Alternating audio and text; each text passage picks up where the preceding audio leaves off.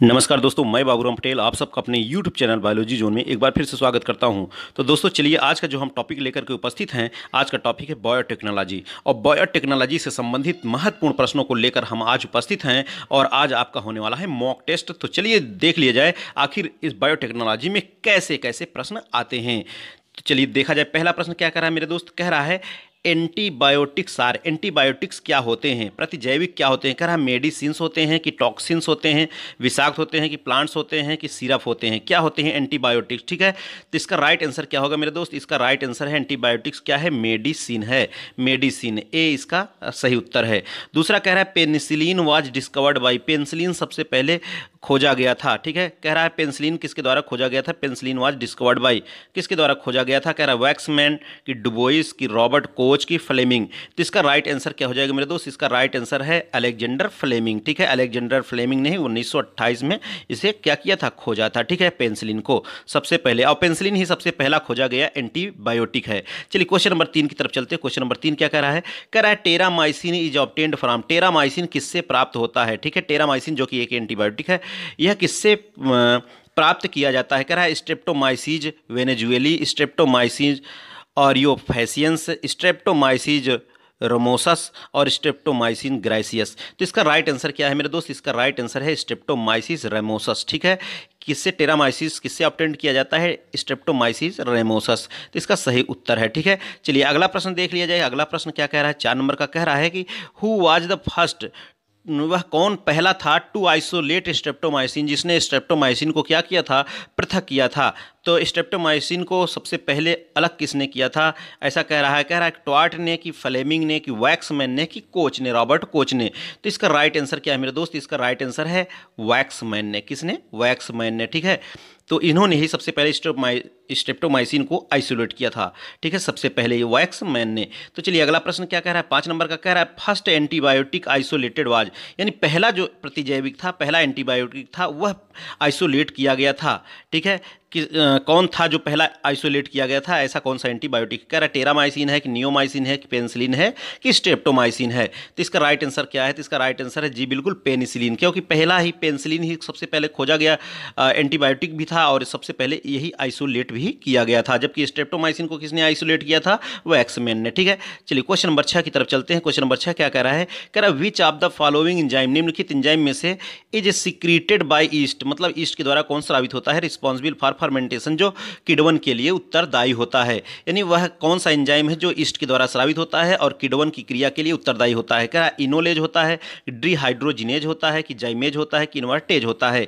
इसका right answer क्या है मेरे दोस्त? इसका राइट आंसर है जाइमेज ठीक है? जाइमेज ठीक है, जयमेज सबसे पहला, जो देखिए, जयमेज जो है किसके द्वारा? ईस्ट के द्वारा श्रावित होता है और किसके लिए रिस्पॉन्सिबल होता है? किडवन की क्रिया के लिए। देखिए, सात नंबर क्वेश्चन क्या कह रहा है? The number of antibiotics the number of antibiotics antibiotics की संख्या obtainable from streptomyces griseus are ठीक है? कि स्टेप्टोमाइसिस ग्रेसियस से जो प्राप्त की जाती है, वो एंटीबायोटिक की संख्या लगभग कितनी है?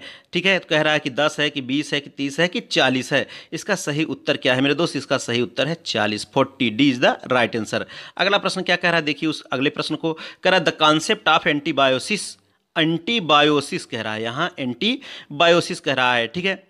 The concept of antibiosis was given by antibiosis concept सबसे पहले किसके द्वारा दिया गया था? ऐसा कह रहा है, ठीक है? कह रहा है बेब्स के द्वारा, कि पॉस्चर के द्वारा, कि वैक्स मैन के द्वारा, कि वैली मिन के द्वारा। तो इसका राइट आंसर क्या हो जाएगा मेरे दोस्त? इसका राइट आंसर जी बिल्कुल, आप हमारे कमेंट बॉक्स में एक आध क्वेश्चन आप लोग भी कमेंट बॉक्स में कमेंट करके बताइए। चलिए क्वेश्चन नंबर आठ का जो आंसर है, आप लोग हमारे कमेंट बॉक्स में कमेंट करके बताइए बिल्कुल, किसका राइट आंसर क्या होगा, ठीक है? चलिए। क्वेश्चन नंबर नौ की बात करते हैं, कह रहा है, हीमोलिन इज़, हीमोलिन क्या है?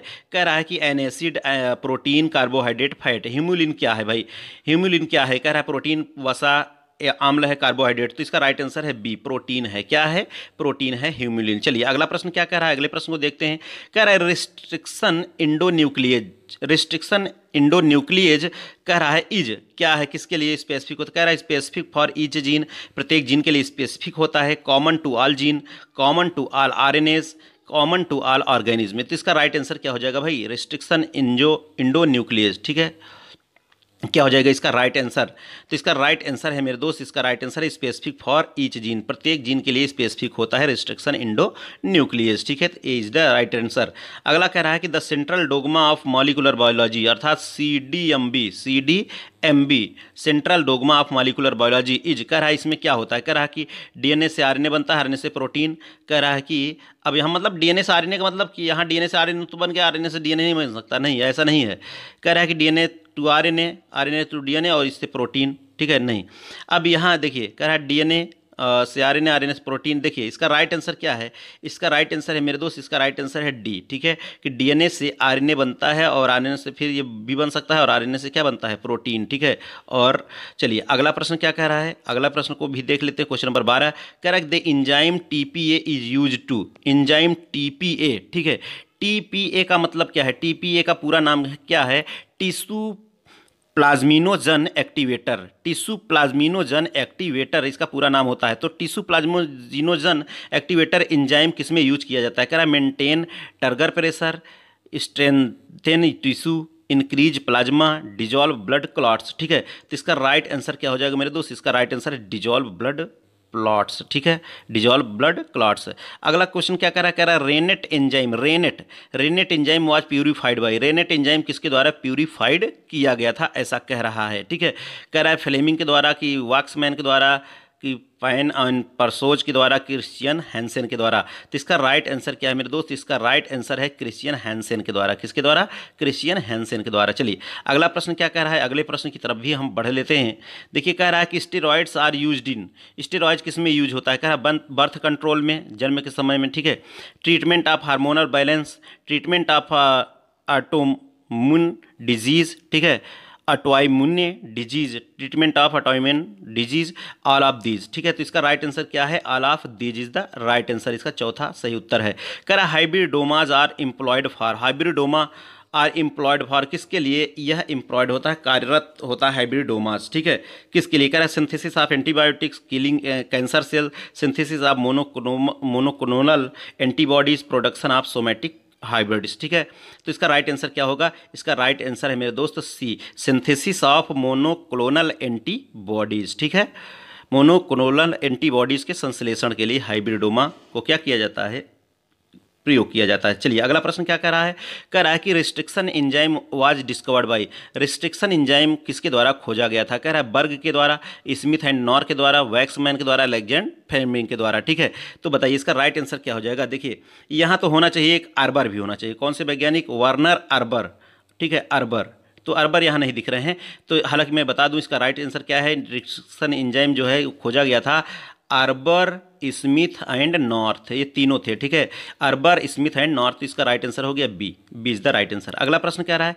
Which of the following is use in biotechnology निम्न में से कौन बायोटेक्नोलॉजी में यूज़ होता है? कह रहा है कैटल की ईस्ट की both cattle and yeast both कि नाइदर कैटल नॉर ईस्ट ठीक है? तो इसका राइट आंसर क्या हो जाएगा मेरे दोस्त? इसका राइट आंसर फटाक से बताइए। इसका राइट आंसर है बोथ कैटल पशु भी और ईस्ट का भी उपयोग किया जाता है बायोटेक्नोलॉजी में। अगला प्रश्न क्या कह रहा है? देखिए, प्रश्न नंबर एट्टीन कह रहा है ट्रिपल एंटीजन और डीपीटी ट्रिपल एंटीजन और डीपीटी इज़ मीन्ट फॉर इसका क्या अर्थ है डीपीटी ठीक है? कह रहा है कि a vaccine against malaria typhoid and cancer एक ऐसा वैक्सीन है जो टाइफाइड और मलेरिया कैंसर के विरुद्ध कार्य करता है। कह रहा है mixture of viruses that causes tetanus diphtheria and whooping coughs ठीक है? अगला कह रहा है a vaccine against polio rabies and hepatitis a vaccine against tetanus whooping cough and diphtheria. तो इसका राइट आंसर क्या है मेरे दोस्त? इसका राइट आंसर है, जी बिल्कुल, एक वैक्सीन है डीपीटी जो किसके खिलाफ, जिसको लगाया जाता है tetanus whooping cough and diphtheria में, ठीक है? डिप्थीरिया, वूपिंग कफ और टिटनेस के विरुद्ध इसको यूज़ किया जाता है, ठीक है? चलिए अगला प्रश्न क्या कह रहा है? अगले प्रश्न को देखते हैं। कह रहा है अगला प्रश्न कि हैप्लॉयड प्लांट्स ठीक है, अगुणित। Haploid plant can be obtained by culturing किसके संवर्धन द्वारा हैप्लॉयड प्लांट्स प्राप्त किया जा सकता है? कह रहा है young leaf endosperm pollen grain root tips ठीक है तो इसका राइट आंसर क्या हो जाएगा? इसका राइट आंसर है पोलन ग्रेन ठीक है pollen grain is the right answer अगला कह रहा है ए प्लाज्मिड इज़ प्लाज्मिड क्या है? कह रहा है जेनेटिक मटेरियल ऑफ़ वायरस नहीं वायरस का जेनेटिक मटेरियल नहीं है। कह रहा है extra chromosomal DNA is in a bacterial cell bacterial cell में एक्स्ट्रा क्रोमोसोमल डीएनए है, जी बिल्कुल यही सही है, ठीक है? तो ये क्वेश्चन तो बार बार बहुत बार आया है, ठीक है? तो इसका B is the right answer अगला प्रश्न क्या कह रहा है, देखिए, अगला प्रश्न कह रहा है कि एंटी स्कर्वी विटामिन जे बीटा एंटी स्कर्वी विटामिन किसे कहते हैं, ठीक है? आप जानते हैं स्कर्वी होता है किसकी कमी से? सी की कमी से सी दे दिया तो स्कर्वी का एंटी हो जाएगा तो एंटी स्कर्वी हो जाएगा, कह रहा है vitamin A vitamin C vitamin D vitamin E तो इसका राइट आंसर क्या हो जाएगा? विटामिन सी अर्थात B is the right answer. अगला कह रहा है पास्चुराइजेशन ऑफ़ मिल्क मिल्क का पास्चुराइजेशन इनवोज हीटिंग फॉर ठीक है, कितने डिग्री सेल्सियस पर इसका, और कितने समय तक, कितने डिग्री सेल्सियस पर, कितने समय पर जो है दूध का पास्चुराइजेशन होता है। ये पास्चुराइजेशन क्रिया कितने पर होती रहा साठ मिनट नब्बे डिग्री सेल्सियस। ठीक है, नब्बे डिग्री सेल्सियस टेम्परेचर पर साठ मिनट तक अगर बॉइलिंग चले, तीस मिनट और पचास डिग्री सेल्सियस, तीस मिनट पैंसठ डिग्री सेल्सियस, साठ मिनट, सौ डिग्री सेल्सियस। तो इसका राइट आंसर क्या है? इसका राइट आंसर है तीस मिनट तक।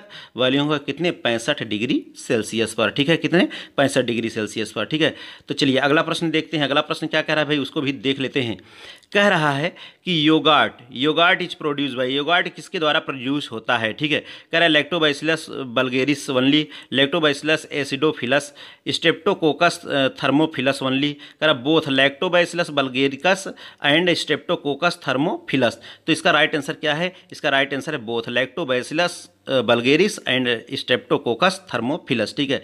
अगला क्या कह रहा है? देखिए, उसको भी कह रहा है कि totipotency means totipotency क्या है? आप जानते हैं कि एक जो है कोशिका से संपूर्ण जीवधारी के बनने की क्रिया क्या कहलाती है? ये क्षमता जिसमें होती है, एक ऐसी cell undifferentiated mass of cell जिसमें जो है एक संपूर्ण प्लांट ग्रो करने देने की क्षमता होती है टाटिपोटेंसी कहलाती है। है, इसका मतलब क्या फॉर्मेशन ऑफ़ सेल नहीं। फॉर्मेशन ऑफ़ ऑर्गन नहीं। फॉर्मेशन ऑफ़ एंड इंडिविजुअल एक इंडिविजुअल का बर्थ बन जाना from living meristematic undifferentiated cell जी, बिल्कुल यहाँ। यही इसका राइट आंसर है, ठीक है? कि एक अनडिफरेंशिएटेड मॉस ऑफ़ सेल्स ठीक है? इससे जो है एक संपूर्ण जीवधारी का निर्माण की क्षमता क्या कहलाती है? टॉटी पोटेंसी, ठीक है? अगला प्रश्न क्या कह रहा है? देखिए, कह रहा है, in genetic engineering genetic engineering में, अनुवंशिकी अभियांत्रिकी में some important enzymes are use कुछ महत्वपूर्ण इंजाइम यूज़ किए जाते हैं जेनेटिक इंजीनियरिंग में। वन ऑफ़ देम उसमें से एक है। कह रहा है, कौन है? टोपोइस टोपो आइसोमिरेज कह रहा है हेलिकेज रिस्ट्रिक्शन इंडोन्यूक्लिएज और ट्रांसलोकेज तो इसका राइट आंसर क्या है? रिस्ट्रिक्शन इंडोन्यूक्लिएज इसे बायोलॉजिकल सीजर भी कहते हैं, जैविक कैंची ठीक है? तो चलिए दोस्त, आज के हमारे इस लेक्चर में बस यहीं तक। फिर मिलेंगे नेक्स्ट लेक्चर के साथ। लेकिन आज का टॉपिक कैसा रहा, आप लोग कमेंट करके ज़रूर बताइएगा। और जो हमने एक प्रश्न का उत्तर आप लोगों के लिए कहा, उसका उत्तर भी ज़रूर बताइएगा। Okay thank you